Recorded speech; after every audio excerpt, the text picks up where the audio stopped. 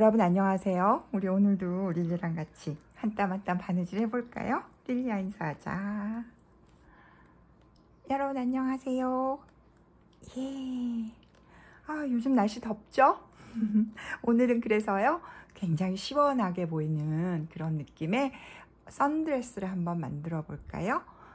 리조트 룩 느낌도 좀 나고 음, 6, 70년대 그 히피들의 보헤미안 스타일 있잖아요. 그런 느낌도 좀 나게 그렇게 시원한 느낌의 근사한 원피스를 한번 만들어 보려고 합니다. 자, 뭐가 필요한지 한번 보죠. 릴리는 조금 기다리고 있어요. 짠. 이번 원피스에는요, 한 가지 종류의 원단만 있으면 돼요. 그리고 음, 디자인이 별로 그렇게 디테일이 많은 편이 아니거든요. 그래서 널찍널찍하기 때문에요. 이렇게 좀 어, 크고 대담하고 화려한 그런 무늬를 활용하시는 게 더 좋을 것 같습니다. 여러분 가지고 계신 것 중에서 인형 어, 이런 거 인형 옷에 쓸 수 있을까 싶을 정도로 무늬가 좀 대담하거나 큰 것들 있잖아요. 그런 것도 얼마든지 오히려 더 드라마틱하게 활용하실 수 있을 것 같아요. 저는 그런 무늬에 어, 제가 어, 고른 것은 리버티 사의 리버티 론인데요. 음, 무늬는 이렇게 크고 화려한 걸 고르시더라도 어, 주름을 잡고 그런 디테일을 살리기 위해서는 너무 두껍지 않게 그렇게 원단을 선택하시면 될 것 같고요. 저는 어, 멋지죠? 자, 이렇게 화려한 거 해보는 거는 정말 오랜만인 것 같은데요. 어쨌든 멋져요. 스커트 맥시 스커트예요. 굉장히 긴 스커트 한쪽. 그 다음에 앞판 두 개, 뒷판 하나, 소매 두 개, 소매 밑단에 달 커프, 커프스 두 개. 그 다음에 허리 밴드인데요. 허리 밴드는 똑같이 두 개를 재단을 해주세요. 허리 밴드 다른 거는 안감이 없는데요. 허리 밴드만 안쪽에 똑같은 모양으로 안감처럼 달아줄 거니까요. 허리밴드만 똑같이 두 개를 재단하시면 되겠고요. 안감이 없기 때문에 목선 주변에 곡선을 어, 정리할 때만 그 망사를 안단처럼 대주려고 그래요. 그러니까 망사가 조금 준비 망사를 조금 준비하시면 될 것 같습니다. 모두 다 3mm 시접 두고 올풀림 방지액 발랐습니다. 그렇게 해서 바느질한 준비가 간단하게 끝나네요. 자, 바느질을 시작해 볼까요? 자, 바느질은요. 앞판과 뒷판을 연결하는 것부터 시작할 거예요. 이렇게 놓고 앞판을 연결할 건데 어머나 앞판 여기가 더 깁니다. 여기다가 주름을 조금 잡아가지고요. 이렇게 뒷판에 어깨선이랑 연결해 줄 거예요. 이쪽도 시침질을 해서 주름을 잡아서 연결해 주면 되겠죠. 시침질, 시접에 시침질을 하시고요. 그 다음에 주름을 잡아서 뒷판이랑 연결해요. 그런 다음 어, 시접을 뒷판 쪽으로 보내서 다림질 하고요. 그 위에 top stitch 해주시면 됩니다. 거기까지 해서 앞판과 뒷판 한번 연결해 봐요. 시침질부터 할게요.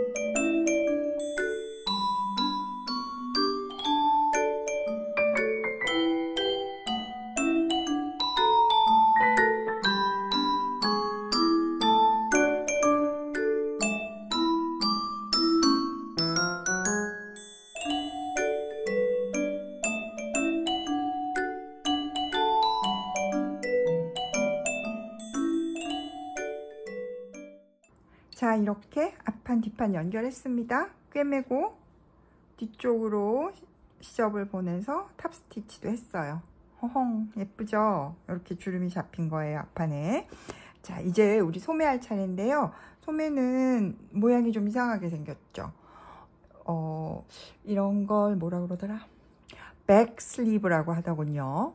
이렇게 주머니, 자루 뭐 이런 모양으로 소매가 생기는 건데요. 이렇게 이쪽 부분이 좀 더 주름이 많이 잡히고 봉긋해지는 거예요. 지금 어, 하는 생긴 건 좀 이상해도 평소에 퍼프 소매 하던 거랑 거의 비슷해요. 그래서 밑단에 시침질을 해서 주름을 잡고요. 이렇게 고기에다가 커프스를 달아주면 됩니다. 커프스를 달아서 대신에 이번에는 저는 이 커프스를 가능하면 좁게 만들고 싶어요. 음, 그게 더 예쁠 것 같아서 좁게 만들기 위해서 주름을 잡아서 커프스를 꿰맨 다음 시접을 한 2mm 정도만 남기고 잘라내세요. 시접을 꿰매고 난 다음에 시접을 잘라내고 그런 다음 바짝 커프스로 그걸 감싸서 top stitch 음, top stitch 어렵겠군요.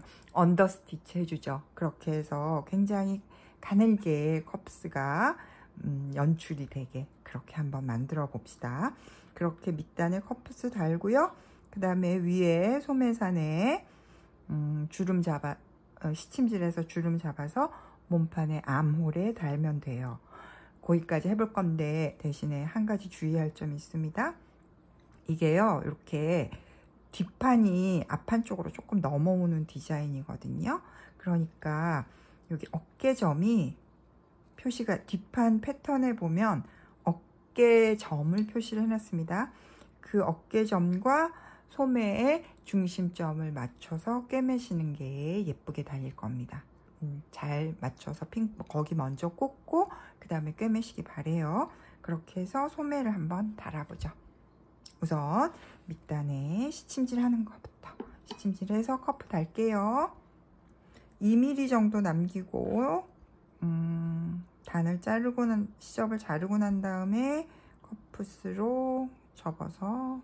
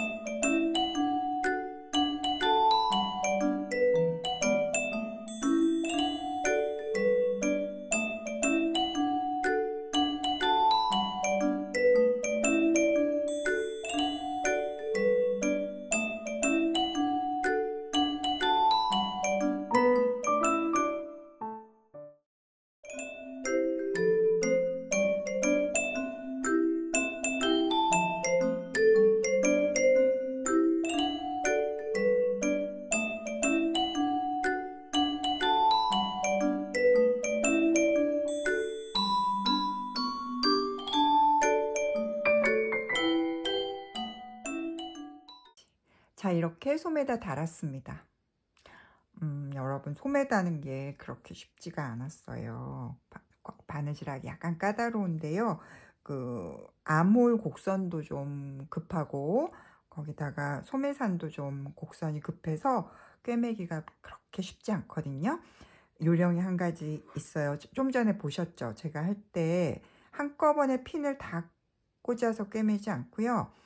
어깨 전부터 이 겨드랑이까지 앞부분을 먼저 꿰매고 핀 꽂아서 꿰매고 어깨점에서 박음질 한 번 해서 고정하고 그 다음에 나머지 반을 또 핀 꽂아서 꿰매고 그렇게 반반씩 섹션을 나눠서 꿰매면 그나마 할만해요. 그러니까 그렇게 조금 조심해서 꿰매시고요. 자, 이렇게 그래도 예쁘게 달려서 다행이에요. 소매를 단 상태에서 이제 우리 목선 정리를 해줄 거예요. 목선은 지금 이렇게 망사를 조금 준비했는데요. 뒷목선, 곡선 부분만 망사를 대줄 거고요. 앞선의 요 직선 부분은 나중에 그냥 top stitch만 해줄 거거든요.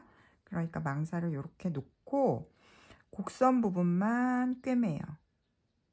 그런 다음에 남은 거는 요 시접 따라서 잘라내고요. 앞에도 필요 없으니까 잘라내고 곡선 부분에 가위집을 주고 뒤집어서 top stitch 할 거예요. top stitch 할 때 앞선도 같이 연장해서 하면 되겠죠. 이렇게 그러니까 앞, 이 목, 앞선과 목선을 top stitch 하는데 뒷부분에만 망사가 있는 거예요. 그렇게 해서 정리하고요. 목선이 정리되면 그 다음부터는 간단해요. 이렇게 놓고 옆선 꿰매주고요. 이렇게 소매부터 몸판 옆선까지 양쪽 옆선 꿰매고 그러면 몸판이 이렇게 연결이 돼 있을 거 아닙니까? 몸판이 연결돼 있으면 몸판의 밑단을 따라서 한 번에 시침질을 쭉 해주세요. 밑판 밑단도 어, 거기가 허리 밴드에 닿을 부분인데 어, 시침질을 해서 주름을 잡아가지고 달 거거든요. 그러니까 그렇게 우선은 어떻게 한다고요? 목선 정리하고 옆선 그 다음에 밑단의 주름까지 거기까지 같이 한번 가볼게요. 할 수 있겠죠? 자 한번 해봅시다. 우선 목선부터요.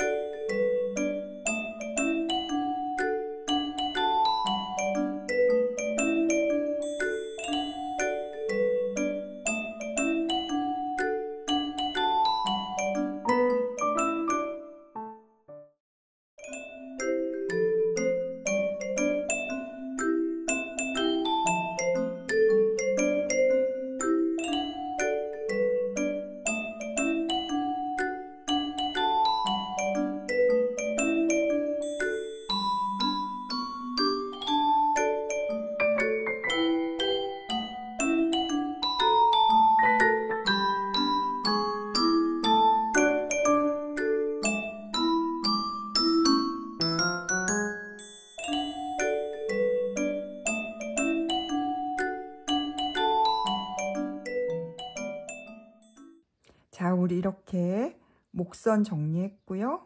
이렇게 뒤에 곡선 부분에는 망사로 되었고요. 가위집 시접해 주었고요. 탑스티치에서 정리. 그 다음에 옆선도 꿰맸습니다. 그리고 밑단에는 시침질. 이렇게 주름이 잡혀서 어, 허리밴드에 붙을 거거든요. 허리밴드 보, 면 자, 이렇게 생겼는데요. 패턴에 보면 이렇게 점점 점점 있죠? 요 요 가, 음, 맨 끝에 있는 어, 요 두 점 사이에만 몸판이 붙어요. 그러니까 요만 요 앞에 있는 이거 잘 보이세요? 요만큼은 앞판이 안 붙을 겁니다. 그 부분은 나중에 앞에서 이렇게 여밀 때 사용할 거고요. 그 다음에 가운데 점은 뒷중심선에 가고요.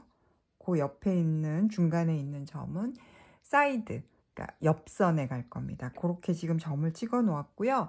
어, 여러분 패턴에 역시 어디 무슨 점이 어디에 갈지를 표시를 해 드릴게요. 그러니까 거기 잘 맞춰서 어, 패턴에도 표시를 하고 어, 몸판의 밑단에 고, 핀으로 고정을 한 다음 시침질을 한번 해주세요. 가능하면 요 어, 바느질선 가까이에 시침질을 하고 왜냐하면 우리 이 허리밴드 부분은 두 겹으로 할 거거든요. 그래서 안감이랑 같이 꿰매야 되기 때문에 겉감을 예쁘게 먼저 자리를 잡아서 시침질을 해놓고요. 그 다음에 안감이랑 같이 꿰매는 걸로 해요. 그러니까 우선 우리는 자 여기 요만큼은 안 꿰맨다고 그랬죠. 우선 우리는 겉감이랑 시침질하는 것까지 한번 해봅시다. 그리고 난 다음에 설명을 해드릴게요.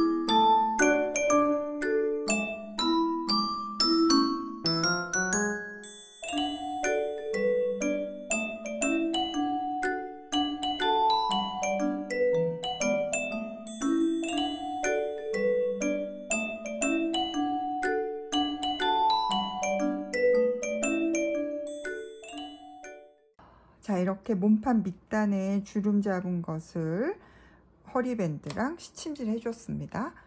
어, 시침질이 예쁘게 잘 돼 있는지 확인하고요. 아이고 주름이 예뻐졌는지 확인하고 다림질도 한번 해줬어요. 그리고 이제 여기 어, 허리밴드에 안감을 대고 꿰매줄 텐데요. 꿰매기 전에 지금 보이세요? 여기 양쪽 사이드에 요 짧은 면을 시접을 안으로 접어놓고 다림질을 했습니다. 이게 이렇게 해, 해 놓으시는 게 나중에 바느질 하기가 더 편하실 거예요. 그래서 이렇게 두 장을 지금 사이에 몸판이 들어가 있죠. 음, 주름 잡혀 있어서 조금 두꺼울 겁니다.